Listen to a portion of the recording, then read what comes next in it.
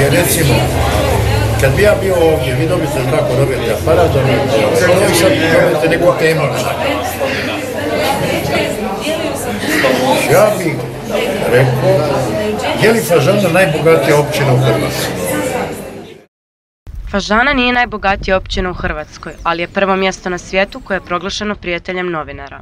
Zato smo posjetili Fažana Media Fest koji je prvi korak ka ostvarenju toga sna. Festival počiva na tri stupa.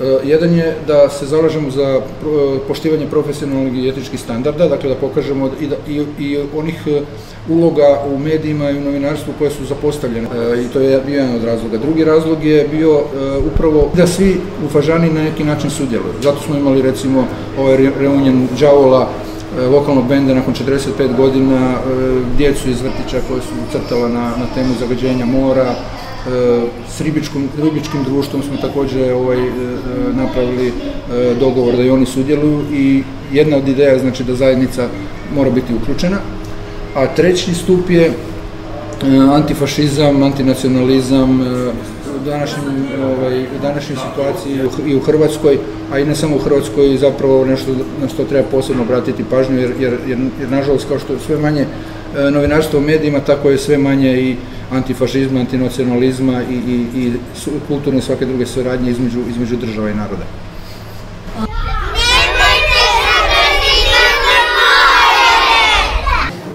Nažalost, prostor u kojem živimo, e, mediji treba da neprestano osvajaju prostor slobode.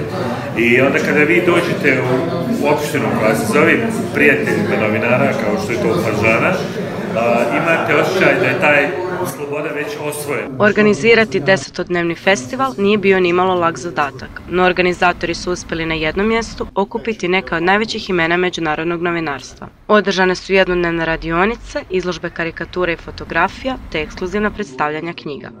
Večeri su završavale putopisnim dokumentarcima koje je odabro i vodio Đelo Hadži Selimović. Festival, je e, raznolik, e, ja sam dobio jedan dio tog festivala za ove putopise. Mm, mislim po zanimanju publike da je to uspjelo i to me jako veseli. I naravno da ćemo sudjelovati, da ću sudjelovati sljedeće godine jer ja sam kako je krenuo mislim da festival ima budućnost. Malo ljudi bi se odazvalo ovakvom pozivu bez honorara. Međutim, razina uključenosti volontera i lokalne zajednice bila je nešto što se ne viđa često. Ekipa je bila jako dobra, festival i sadržaj festivala je bio vrlo zanimljiv, tako da je ovo zapravo bio više užitak nego rad. A kad radite sa ljudima koji to rade s lakoćom, pri tome su kreativni, otvoreni za ideje, onda to sve teče. I legendu Monteveresta, Stipu Božića, put je doveo u Fažanu. I zato ja kažem, recimo i ove naše priče, pa i ova priča koja je počela u ovom festivalu je vrlo važna. Jer jedino što će nas naživi, što će ostati kad nas svi ne bude, je priča.